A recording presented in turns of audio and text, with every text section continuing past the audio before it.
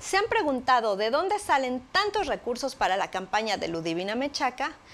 Porque la que le destina el IECRO no le daría para tantos eventos y souvenirs para los ciudadanos, para convencerlos de votar por ella y el pago a sus coordinadoras y activistas de campaña. Le cuento, todo parece indicar que al rebotar la candidatura de Luis Chanito Toledo para la presidencia municipal de Cancún, algunos inversionistas que lo apoyarían decidieron voltear a ver a Puerto Morelos, un municipio con pujanza económica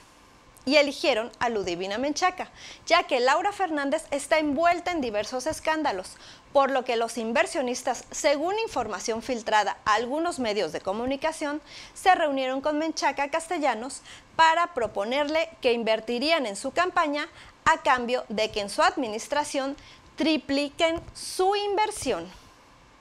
a lo que la ambiciosa candidata de la alianza PAN, PRD y Movimiento Ciudadano aceptó sin pensarlo y sin importarle que con este convenio estarían en juego las riquezas naturales de Puerto Morelos.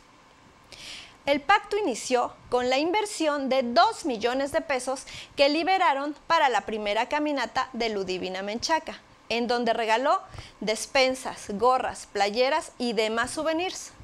pacto que a futuro costará muy caro a los portomorelenses, ya que según las fuentes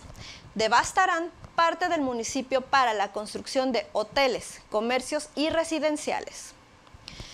Qué lamentable que se juegue así con una ciudadanía que lo único que quiere es regresar la paz y tranquilidad a su municipio.